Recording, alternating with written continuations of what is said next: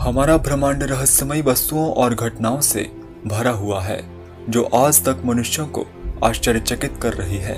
वैज्ञानिक भी हमारे ब्रह्मांड के कुछ प्रश्नों पर अपने सिर खरोंच रहे हैं। यह कोई पहेली नहीं है कि अंतरिक्ष रहस्यों से भरा हुआ है।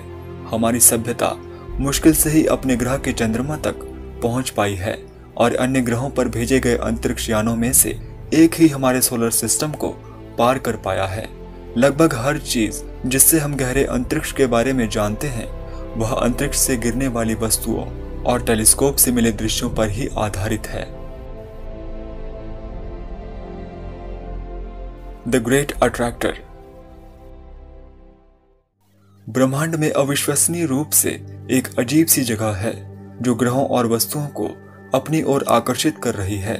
दुर्भाग्य से यह हमारी गैलेक्सी के दूसरी तरफ़ है, जिस कारण हम इसे क्लियरली देख नहीं सकते। यही कारण है कि वैज्ञानिक इस बात को उजागर करने की कोशिश कर रहे हैं कि गैलेक्सीज को कौन आकर्षित कर रहा है। हमारी गैलेक्सी और अन्य नजदीकी गैलेक्सीज अंतरिक्ष के एक स्पेसिफिक खींची चली जा रही है। यह अनुमान लगाया गया है कि ये 150 मिलियन प्रकाश वर्ष दूर है और इसे द ग्रेट अट्रैक्टर का नाम दिया गया है। यह गैस और डस्ट से घिरा हुआ है, जिस वजह से इसे स्पष्ट रूप से नहीं देखा जा सकता। हम जानते हैं कि हमारी गैलेक्सी और अन्य नजदीकी गैलेक्सीज इस द ग्रेट अट्रैक्टर की तरफ़ बढ़ रही है, जिसका मतलब है कि कुछ तो है जो इस प्रतिक्रिया का कारण बन रहा है और बहुत विशाल काय है, या ये घटना बहुत अजीब और रहस्यमयी है। भले ही हम भविष्यवाणी करें कि कुछ तो है जो हमारी आकाशगंगा को अपनी ओर खींच रहा है। ऐसा लगता है कि वहाँ इससे भी बड़ा कुछ है, क्योंकि यहाँ तक कि द ग्रेट अट्रैक्टर भी किसी चीज़ की ओर आकर्षित हो रहा है, जिसे शेपली सुपर क्लस्टर का नाम दिया गया है। वास्तव में हम अनुमान लगा सकते हैं कि द ग्रेट अट्रैक्टर शायद सिर्फ़ एक चीज़ नहीं, बल्कि हमारे ब्रह्मांड का केंद्र बिंदु हो सकता है। स्वाभाविक रूप से आप में से कुछ लोग यह निष्कर्ष निकाल सकते हैं कि किसी पॉइंट पर हमारा ग्रह द ग्रेट अट्रैक्टर द्वारा नष्ट कर दिया जाएगा। हालाँकि, यह विश्वास नहीं किया जा सकता है कि ऐसा कुछ हो सकता है, क्योंकि डार्क एनर्जी और उसके अज्ञात प्रभाव हमारी गैलेक्सी को नष्ट होने से रोकते हैं। तो इसके मनहूस नाम के बावजूद डार्क एनर्जी इतनी भी खतरनाक नहीं है। सन्स एटमोस्फेयर कोरोना हमारे सूर्य की सतह का तापमान लगभग दस हज़ार डिग्री फ़ारेनहाइट है। लेकिन इसका वातावरण, जो कोरोना के नाम से जाना जाता है, सूर्य की सतह की तुलना में लाखों डिग्री फ़ारेनहाइट है। इस बात से सोलर फिजिसिस्ट अब तक परेशान हैं, लेकिन रिसर्च ने सूर्य के विजिबल सरफेस के नीचे की एनर्जी, सूर्य के मैग्नेटिक फ़ील्ड में चल रही प्रक्रियाओं की ओर इशारा किया है। वर्तमान में वास्तविक विवरण यह है कि कोरोना में तापमान सूर्य की सतह से इतना अधिक क्यों है? अभी भी एक रहस्य है। Is Earth the only planet with life observable universe व्यास में तिरानवे अरब प्रकाश वर्ष विशाल है और अरबों गैलेक्सीज से भरा हुआ है, जो अरबों सितारों और ग्रहों से बनी हुई हैं। तो केवल धरती पर ही जीवन का एकमात्र सबूत क्यों है, जबकि पूरे ब्रह्मांड में जीवन के अन्य रूपों को आम होना चाहिए? फर्मी पैराडॉक्स के अनुसार हमारी पृथ्वी पहले से ही एक्स्ट्रा टेरेस्ट्रियल एलियंस द्वारा विज़िट की जा चुकी है। यद्यपि, इस बात का कोई सबूत नहीं है और न ही ऑब्जर्वेबल यूनिवर्स में एलियंस के कोई संकेत मिले हैं। सवाल यह है कि क्या पृथ्वी एकमात्र ऐसा ग्रह है जहाँ जीवन संभव है?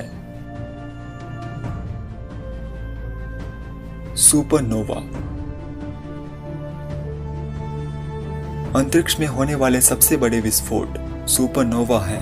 यह तब होता है जब एक विशाल सितारे का ईंधन समाप्त होने लगता है और अपने जीवन को एक विशाल विस्फोट में समाप्त करता है। ये शानदार विस्फोट इतने उज्जवल होते हैं कि इनकी चमक पूरी गैलेक्सी में समा जाए।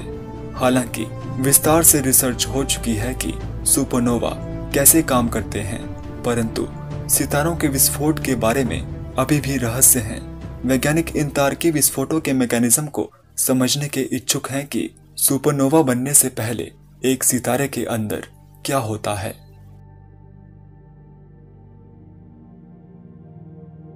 Black holes. अंतरिक्ष में ब्लैक होल तब बनता है जब एक बहुत बड़े सितारे का विनाश होता है। ब्लैक होल की मुख्य विशेषताओं में से एक, इसके गुरुत्वाकर्षण खिंचाव की ज़बरदस्त शक्ति है। इसका खिंचाव इतना मज़बूत है कि कुछ भी इससे बच नहीं सकता, यहाँ तक कि प्रकाश भी नहीं। यदि कोई सितारा ब्लैक होल के करीब आता है तो वह ब्लैक होल में अवशोषित हो जाएगा और फिर कभी नहीं दिखेगा। ब्लैक होल के अस्तित्व को पहली बार 18वीं शताब्दी के अंत में सुझाया गया था।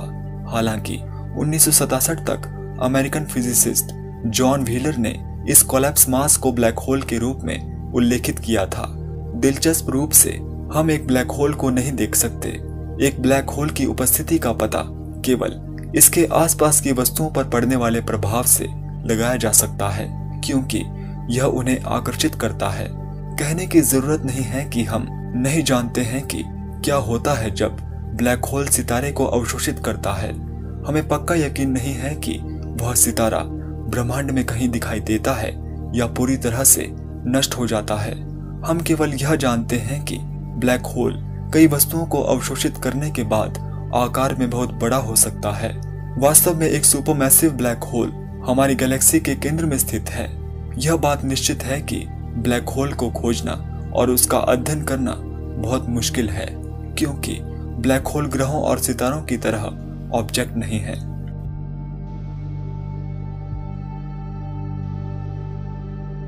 The mysterious pyramid on Ceres. 2015 में हमें कैरेस नामक छोटे ग्रह से नई तस्वीरें मिली। ये आश्चर्यजनक तस्वीरें डॉन स्पेसक्राफ्ट द्वारा ली गई थीं, जो मंगल और बृहस्पति ग्रह के बीच एस्ट्रॉयड बेल्ट पर भेजा गया था। इस ऐतिहासिक उपलब्धि के परिणाम स्वरूप कैरेस पर अंतरिक्ष यान की लैंडिंग हुई, जिससे हमें इस छोटे से ग्रह की दो रहस्यमयी विशेषताओं के बारे में पता चला। इस ग्रह पर रहस्यमयी ब्राइट स्पॉट्स और एक पिरामिड आकार की संरचना है। कुछ वैज्ञानिकों ने इसे द एलियन पिरामिड कहा है। वास्तव में पृथ्वी से इसे अहुना मॉन्स कहा जाता है, जब डॉन स्पेसक्राफ्ट ने बहुत कम ऊंचाई से इस छोटे से ग्रह का चक्कर लगाया तो इस संरचना का सटीक आकार उजागर हुआ। यह संरचना पिरामिड की तरह लग रही थी। अहुना मॉन्स चिकनी खड़ी दीवारों के साथ एक गुंबद की तरह प्रतीत होता है। वैज्ञानिकों का कहना है कि अहुना मॉन्स चार मील ऊँचा है। यह संरचना अभी भी एक बड़ा रहस्य है। अहुना मॉन्स के नॉर्थ वेस्ट में, लगभग 400 मील दूर, रहस्यमय उज्जवल रोशनी के साथ, ऑकेटर क्रेटर है। वैज्ञानिक बताते हैं कि ये रहस्यमय उज्जवल रोशनी एक प्रकार के मैग्नीशियम सल्फेट के कारण होती है। पृथ्वी पर भी एक अलग प्रकार का मैग्नीशियम सल्फेट पाया जा सकता है, जिसे इप्सोम सॉल्ट कहते हैं। यूएफोलॉजिस्ट की इस पर एक बहुत अलग राय है। उनका दावा है कि ऑकेटर क्रेटर अनौपचारिक संरचनाओं से भरा हुआ है। जो प्राकृतिक संरचनाओं के अलावा और भी कुछ है। कई यूएफओलॉजिस्ट कह रहे हैं कि इन उज्जवल और चमकदार धब्बों के बगल में कई इमारतों को देखा जा सकता है। परंतु सच क्या है? इस बात की परवाह किए बिना कोई भी शोधकर्ता इन रहस्यमय संरचनाओं और उज्जवल धब्बों को समझाने में सक्षम नहीं है। डार्क मैटर डार्क मैटर एक रहस्यमय इनविजिबल मास है, जो कोई प्रकाश उत्सर्जित नहीं करता। यह ब्रह्मांड का लगभग 27 प्रतिशत भाग है। इसके अस्तित्व का कोई प्रत्यक्ष सबूत नहीं है। हालाँकि, वैज्ञानिकों ने रेगुलर मैटर पर इसके गुरुत्वाकर्षण खिंचाव के आधार पर इसकी उपस्थिति का अनुमान लगाया है। कई वैज्ञानिकों का मानना है कि डार्क मैटर मैसिव पार्टिकल्स के बीच इंट्रैक्शन का समावेश है, जो एक प्रोटॉन की तुलना में सौ गुना अधिक भारी हो सकते हैं, लेकिन डार्क मैटर बैरियोनिक मैटर से इंट्रैक्ट नहीं करता, जिसे डिटेक्ट करने के लिए हमारे इंस्ट्रूमेंट्स डिज़ाइन किए गए हैं। हालाँकि डार्क मैटर को 60 साल पहले थियोराइज किया गया था। वैज्ञानिक इस बात पर निश्चित हैं कि डार्क मैटर क्या नहीं है, बजाय इसके कि डार्क मैटर क्या है। डार्क एनर्जी डार्क मैटर की तरह ही वैज्ञानिक इस बात पर निश्चित हैं कि डार्क एनर्जी क्या नहीं है, बजाय इसके कि डार्क एनर्जी क्या है। हालाँकि वैज्ञानिकों को पता है कि डार्क एनर्जी ब्रह्मांड का लगभग अठासठ प्रतिशत भाग है और यह ब्रह्मांड की गैलेक्सीज के तेज़ी से विस्तार दर के कारण हो सकता है। डार्क एनर्जी की प्रॉपर्टी ऑफ़ स्पेस से लेकर डायनेमिक फ्लूड तक कई संभावनाएँ हैं। ये जो भी फोर्स है यह अभी तक पता नहीं चला है कि डार्क एनर्जी है क्या। आप इन रहस्यों के बारे में क्या सोचते हैं, यह कमेंट बॉक्स में मुझे ज़रूर बताइएगा। इसी के साथ, गुड बाय।